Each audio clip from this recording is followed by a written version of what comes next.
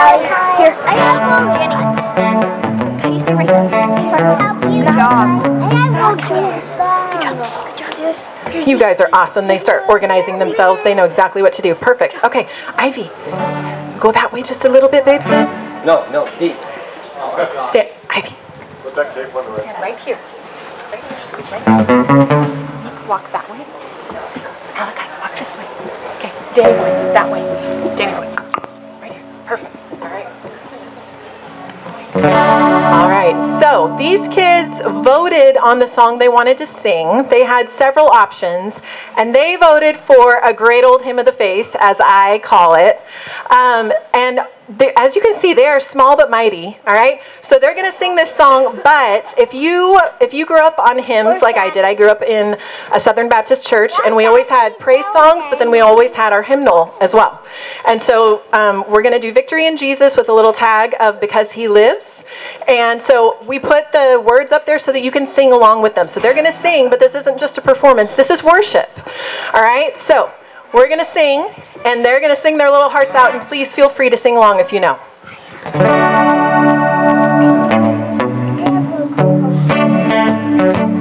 All right, babies, look up here. Ready?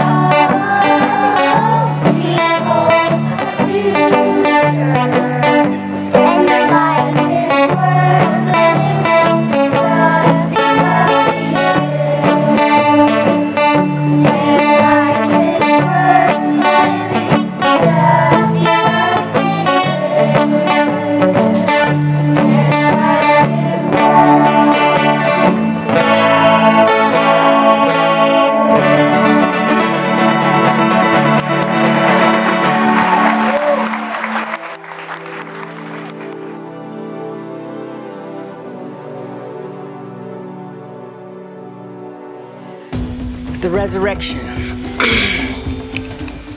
it was on a dark and dreary cloud filled day that turned out to be the most glorious day because all our sins were washed away. It was when our Savior hung between earth and sky, bloody, beaten, crucified, to pay a debt that we could not pay. He died a death that we should have died. See, the hounds of hell were hissing loud, laughing, mocking, hurling lies. Legion's fury, Satan's last try to end our Savior's precious life. But to his chagrin, yes, to his surprise, a mystery from Satan did our God hide. See, this crafty creature, he did not know that the death of Jesus would be his demise, because from death, Jesus would rise. While the Lamb of God was lifted high, lightning flashed, striking Satan's pride, piercing the darkness, exposing his lies. The trumpet, the thunder trumpet, God's heart cry. My beloved son laid down his own life to be crucified. To save the guilty, the innocent one must die. As God's wrath and mercy fell from on high, his anger was satisfied. When his chosen one said, It is finished, then bowed his head and died. Ground shaking, trembling, quaking, he descended to the world below. He conquered death, hell, and the grave. He took the keys and he crushed that snake. He led captivity captive. He set the believers free and won for us all victory right there on Calvary's tree. Then early morning that third day, when the angels rolled that stone away, there was nobody where our Savior laid. Because Jesus had risen from the dead, he'd risen just like he said. His glory shone in brilliant ways because death couldn't hold him in that grave. Now, every day we get to celebrate because Jesus is alive. Our Jesus is alive. He ascended on high, now seated at the Father's side. O death, where is thy sting? O grave, where is thy victory? Sin and death has been conquered by the resurrection of Jesus, our King. Yes, Jesus has risen from the dead. He's risen just like he said. Jesus has risen from the dead. He is our God, the risen King.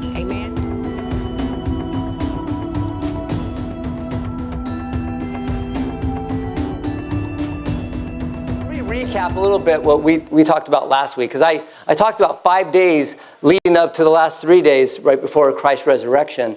Uh, Matthew 28 6 says, He is not here, He has risen as He said He would. Amen.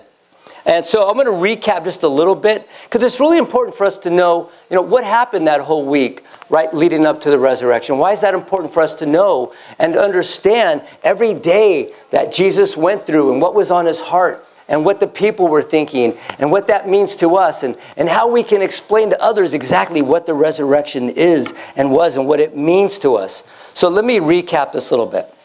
So I went through a few days last Sunday. I went through, first of all, Palm Sunday. Luke 19:36, as he rode along, the crowd spread out their garments on the road ahead of him. Now, Jesus was fully aware of all these things that were going on around him, and the people were laying down the, the palm leaves, and they were starting to, to praise and singing hallelujah, and they were just giving the God glory, singing Hosanna, and it was amazing. And all of a sudden, it also kind of hit Christ, and he started to understand it. The very people that were praising would soon turn on him.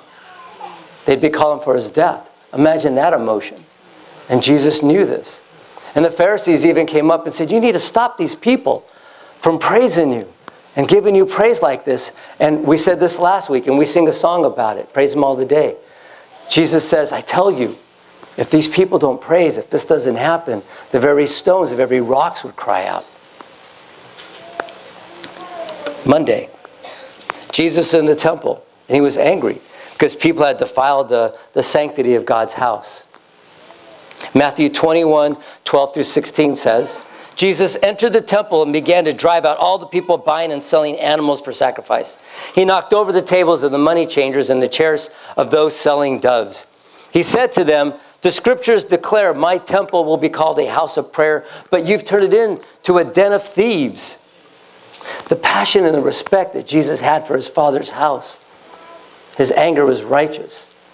And we talked about that. We said Jesus, at one moment, had started overturning tables, and the scriptures attest the fact that he, he grabbed like a two by four and he's knocking tables over, and he's just showing the greed and the, and the people that were in there cheating others. That's not what his house was for. It's supposed to be a house of prayer, a house of gathering, a house of worship. We even talked about one time when Jesus was going to the temple, he saw the things that were going on, and he went back out and he made a whip. And can we talked about, can you imagine being in the temple and having Jesus basically kind of say, I'll be right back. oh, you guys just stay where you are. I'm coming back. And he goes out and he makes his whip, right? And he comes back and he starts throwing the tables over again and chasing people out. I'd be scared. but you have to understand his heart. His heart wasn't that we were to be afraid of him. We were supposed to join in with the fact that the people there were, were turning the house of prayer, the house of worship, into this den of thieves where people were cheating people. That's not what he wanted. That's not what we were supposed to do. Like Pastor Debbie said, when we gather, that's not what we're supposed to do in God's house. So we sing, we praise, we rejoice.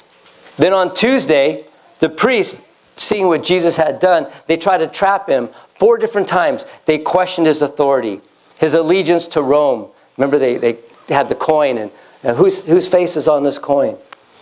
And he says, Well, you give to Caesar's what Caesar's, but you give to God what's God's. Amen. They mocked his belief in the resurrection.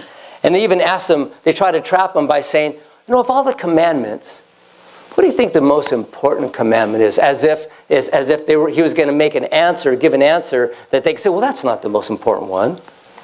But Jesus, Matthew 22, 33 through 40 said, You must love your God with all your heart, all your soul, all your mind. This is the first and greatest commandment. The second is equally important love your neighbor as yourself. The entire law and all the demands of the prophets are based on these two commandments. And we talked about, just to recap briefly, we talked about our, our goal as believers in Christ, as followers of Christ. Our goal is not to be good people. That's not the goal. The goal is to please God, to live every day to please our Heavenly Father. Because if, if I love Him with all my heart, mind, soul, and even in Old Testament says strength, if I live with all my heart, mind, soul, strength, and, and I just want to please Him and love Him, then I will do the things that please God and not my flesh or even others. And I'll love other people the way, the way God loves me. Because my goal is to live for God, to please Him, to love Him. Now, if I can do that, then I won't lie, cheat, steal, murder, envy, jealous, unrighteous anger. I won't treat people unfairly. I won't hold offense and be unforgiving because that's not what God wants me to do. It's not what He wants us to do. It's not how He wants us to live. So the goal is to love God with all your heart, mind, soul, and to love others. Amen? I love that. Amen. So they try to trap Jesus using a, a misrepresentation of, of God's word, but Jesus was on it. Just like he did in the desert with Satan. Every time somebody tried to trap him or trick him or tempt him, he came back with what? The Word of God. That's why it's so important that we read or we learn or we study, we listen to God's Word daily. Even if it's just a, a sentence, a phrase, something we can take in and meditate on. So when we see the false things of the world and the way that the world may try to trap us or lead us into some lifestyle that, that's not godly, we'll know the truth. We'll know the Word of God.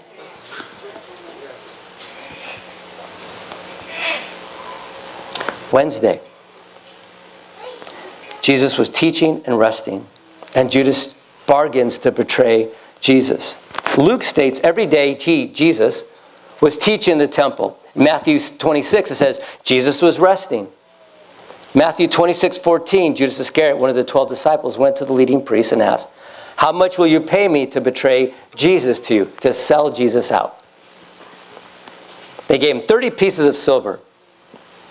Somebody told me, I don't know if you guys are here, but somebody told me what the value of 30 pieces of silver is today. Was that Tommy? No. It's like it's like 600 bucks. It's like, really? So who did let me ask this question. Who did Judas really sell out? Himself. He was with Jesus. He walked with Jesus. He saw the miracles. He fellowshiped with him. But he didn't know Jesus. Jesus didn't abide in him. He didn't abide in Jesus. He sold himself out. He sold out his own eternity. Holy Thursday, the last day with the disciples, and then I'll move on. Jesus washed their feet. He had the Last Supper. He prayed in the garden. Judas shows up and betrays him with the kiss. The one I kiss is the one that you need to arrest. The soldiers captured Jesus. They didn't. Jesus willingly allowed himself to be captured. Peter, being Peter, takes out the sword, and what does he do? Cuts the ear off one of the soldiers. And Jesus says, No, no, no, that's not, this, this isn't supposed to happen now. This isn't with the time. He heals the soldier, puts the ear back on. That would have been really cool to see. I would have loved to seen an ear on the floor. and just Jesus going, Nope, that's, that's not. And imagine what that soldier, do you think he might have, it, the Bible doesn't say this, but if, if it was me, I'm thinking, if I was that soldier and I didn't have any faith in the Messiah and my ear was on the floor, and all of a sudden then my ear's back I'd be going, oh, yes, Lord. But I love, I love what Jesus says. Peter tried to defend him with force, right? And I, I love Jesus looking at these soldiers and saying, um, don't think for a moment. If I wanted to, I could call my Heavenly Father and have a, a legion of angels coming down to defend me. So, okay, let's go. Just so you know, I love that power. That meekness is this quiet strength, right? Meekness isn't weakness, it's a quiet strength. And I, I just to hear Jesus go, hey, don't think for a moment um, I couldn't call down a legion of angels. Ah, again, I'd be like, okay, no problems. And then they took Jesus away. And we think our week was busy. That was just five days. Good Friday. The next day, Jesus facing many councils, and he was arrested. False charges. Jesus is rejected by the very people that were worshiping just a few days before. The ones calling him Messiah, singing Hosanna. Imagine how he felt. The pain in his heart to be accepted and then rejected. I don't, go, I don't want to go into too much detail because I know there's kids here. But then they take Jesus and they whip him. They scourge him. You guys know what scourging is? They just they take this whip with all these pieces of metal and bone and fragments and then they pull. He's beaten, mocked, spit on, cursed, made to carry the very cross that they're going to nail him to. And to mock him, they put a sign. This is King of the Jews. They place a crown of thorns and they force it down on his head. And I was going to grab this. Hope this doesn't feed back, but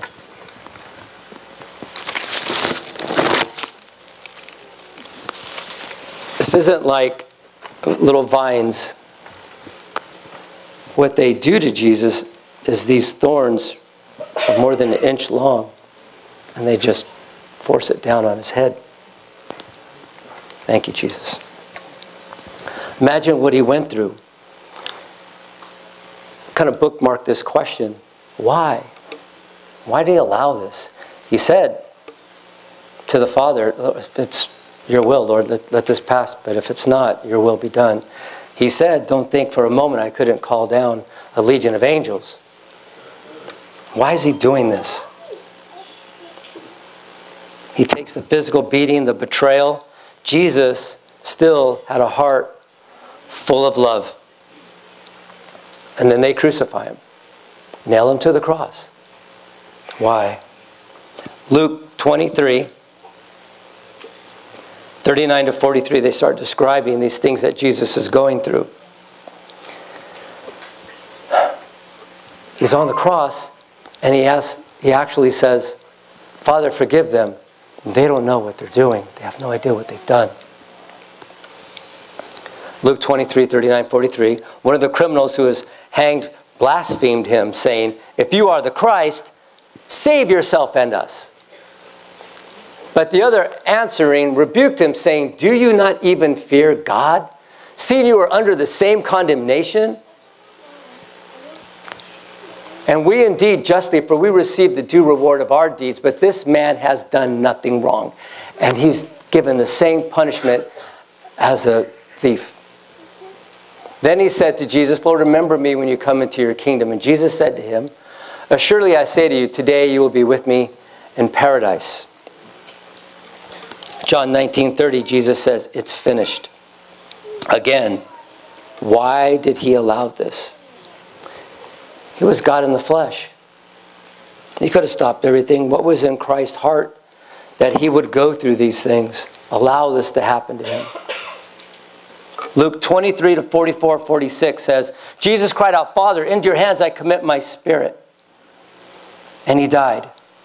It was about noon, and darkness came over the whole land until about three in the afternoon. For the sun stopped shining, and the curtain of the temple was torn in two, showing that there's nothing in between us and Father God. That to get to the Father, all we have to do is go to the Son. Jesus said, You can't get to the Father unless you go through the Son. You didn't need a, a, a person's permission.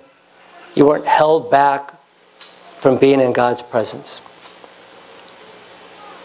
Jesus was taken down from the cross, wrapped in linens, placed in a tomb. Now it's Saturday, Holy Saturday. Jesus' body placed in the tomb that belonged to a rich man, just as the prophecy said in the book of Isaiah. Luke 22 55 says, The women who had come with Jesus from Galilee followed Joseph and saw the tomb and how his body was laid in it. Then they went home and prepared spices and perfumes, but they rested on the Sabbath in obedience to the commandment. So, not a lot is written about what happened on Holy Saturday, other than the women were preparing the spices, perfumes, and resting. Imagine what their emotions were going through that, seeing Jesus go through all that his followers witnessing the torture. But remember, he's, he talked to that thief on the cross and he said, Well, I tell you today, you'll be with me in paradise.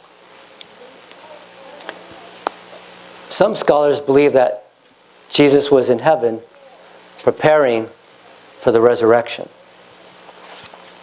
Easter Sunday or Resurrection Day. Matthew 28 6. He is not here, he has risen, just as he said. Come and see the place where he lay. Okay, so the women had prepared the spices before the Sabbath. They arrived at the tomb where Jesus was placed, and the stone was rolled away, and the tomb was empty. John 20, 1 through 11 says, Now on the first day of the week, Mary Magdalene came to the tomb early, while it was still dark, and saw that the stone had been taken away from the tomb. Mary had run over to Peter and John and says, Come see the tomb, it's empty. Then something happened. Jesus started appearing to people. Lots of people. Lots of witnesses. John 20 says Jesus appears to Mary Magdalene. Mary was outside the tomb crying and she wept and she stopped and she looked in. She saw two white robed angels, one sitting on the head and the other sitting at the foot of the place where the body of Jesus had been lying. Dear woman, why are you crying? The angels asked her. Because they've taken away my Lord, she replies, and I don't know where they put him. Thinking that maybe somebody stole the body. She turned to leave and saw somebody standing there. It was Jesus. But she didn't recognize him. Dear woman, why are you crying? Jesus asked her. Who are you looking for? She thought, well, maybe he was the gardener. Sir, she said, if you have taken him away, tell me where you've put him, and I will go and I will get him. Mary, Jesus said. And then she knew. She turned to him and cried out, Rabboni. That's Hebrew for teacher. She knew it was Jesus.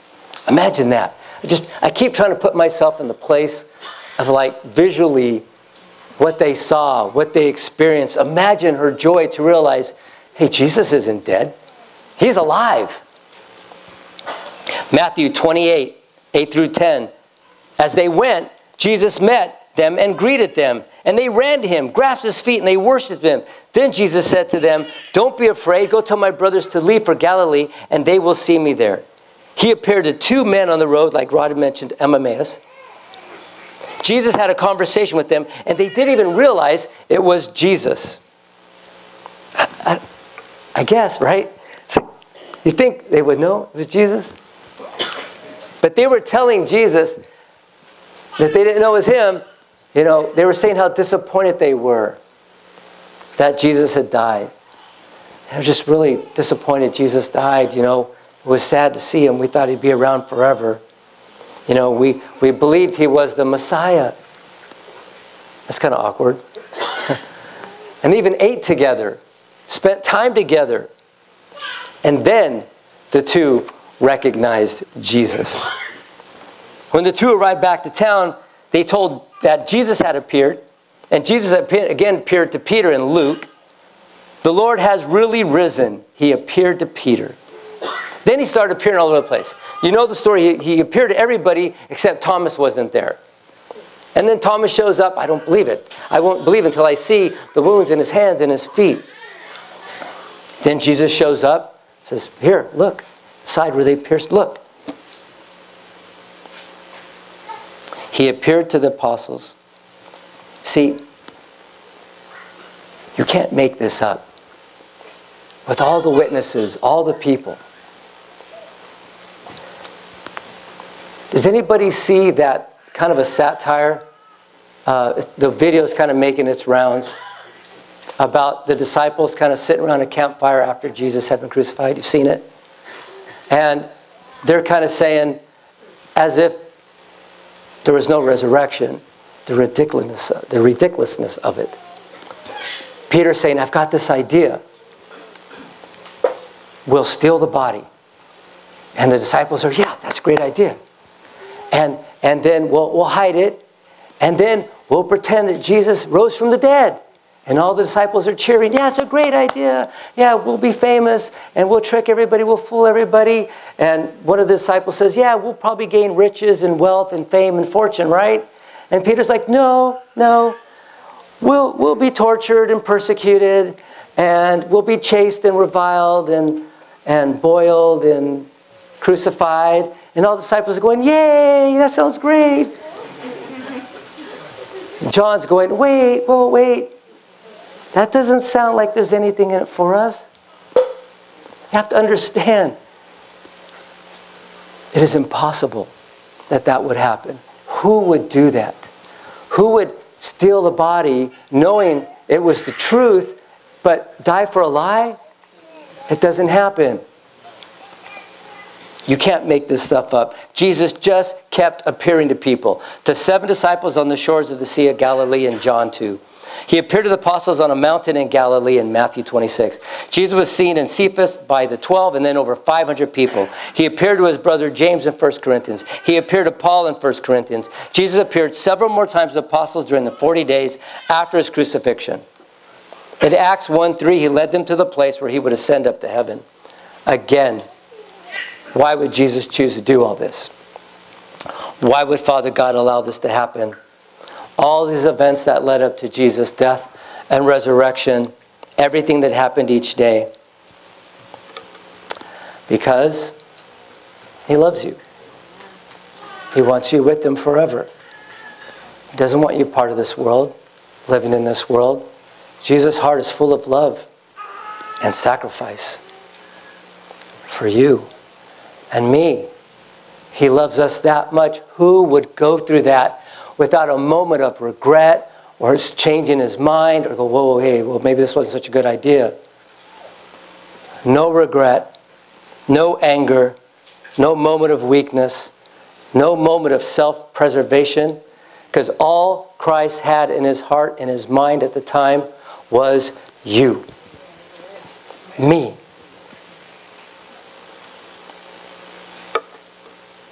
The resurrection is everything. It's not unbelievable because that's what the love for us did. Too many people still don't believe it or they don't know it. They try to figure it out, but it's about love. Jesus went through all that, that whole week of his life. But what does that still mean to us? Can we explain this to people? Can we explain that depth of love to people? Can we explain everything, how it just balanced on that resurrection? Because if, if Jesus doesn't resurrect, if he doesn't come alive again, this means nothing. The resurrection is everything. Can we explain that?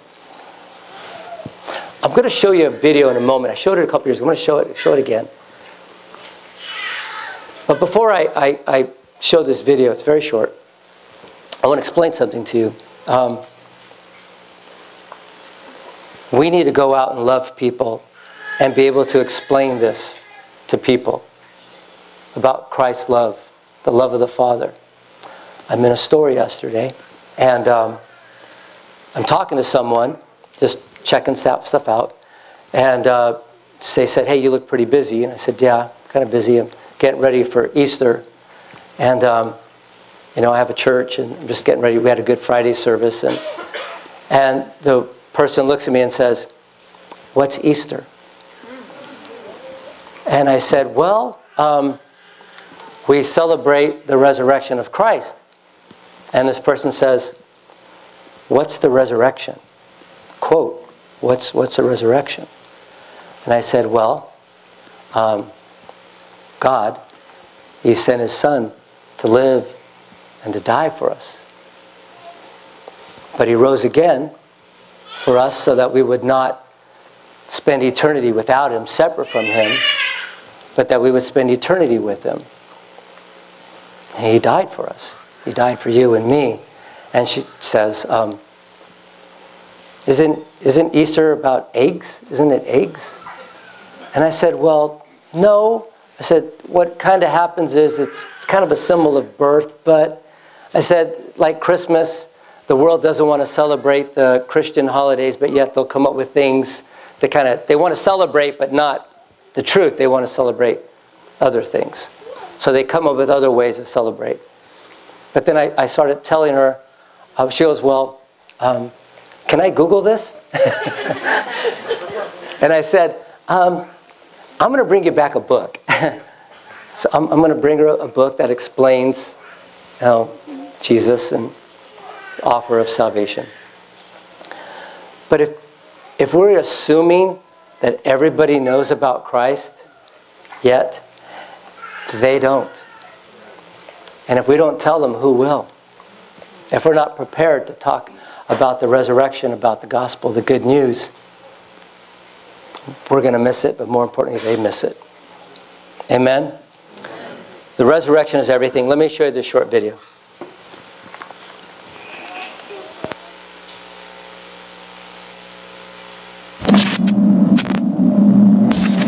The reason that we believe Christianity is true is because the answer to four questions is yes. How about the first question Does truth exist? Obviously, you hear people say all the time, there is no truth, or you got your truth, I got my truth, all truth is relative. When somebody says there is no truth, you ought to ask that person a question. You ought to say, Is that true? Is it true that there's no truth? Because if it's true that there's no truth, the claim there is no truth can't be true, but it claims to be true.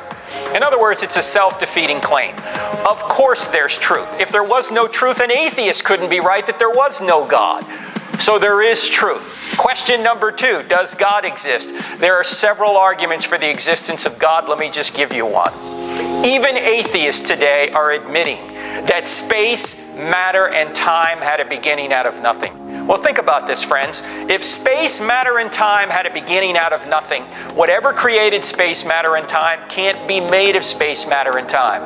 Now, when you think about a spaceless, timeless, immaterial, powerful, personal, intelligent cause, who do you think of? God. Now, we don't know it's the Christian God at this point, but we know it's a theistic God, a being who's beyond the world, who created the world. The third question is Are miracles possible? Obviously, Christianity can't be true if miracles are not possible. But the greatest miracle in the Bible has already occurred, and we have scientific evidence for it. What's that? I just mentioned it. The creation of the universe out of nothing. If Genesis 1 1 is true, every other verse in the Bible is at least possible. Because if there's a being that can create the universe out of nothing, can he do whatever he wants inside the universe? If he can create the whole show out of nothing? Of course. He can resurrect Jesus from the dead or walk on water or part the Red Sea. He can do any of that. So the final question, the fourth question, which gets us all the way to the Christian God is, is the New Testament reliable enough to show us that Jesus rose from the dead? The reason we believe in Christianity is because an event occurred, the resurrection. Now, I have to ask you this. Why would the Jewish writers of the New Testament, all were Jewish with the exception of Luke, why would they invent a resurrected Jesus? Why would they say that a man who claimed to be God rose from the dead if it didn't happen? They thought that would be blasphemy for a man to claim to be God. And why would they invent a resurrected Jesus? They already thought they were God's chosen people. They had no motive to invent a resurrected Jesus. And certainly they could not have invented it in Jerusalem where an empty tomb existed. In other words, ladies and gentlemen, the New Testament writers did not create the resurrection. The resurrection created the New Testament writers. There would be no New Testament if it wasn't for the resurrection. Now, even if the New Testament never existed, Christianity would still be true. Why? Because Christianity is based on an event the resurrection. Do you realize there were thousands of Christians before a line in the New Testament was ever written? Why? Because an event occurred the resurrection. You have to have more faith to believe it didn't occur than it did. And if God exists, and He does, and can create the universe out of nothing, then He can certainly resurrect Jesus from the dead. That's why we believe in Christianity.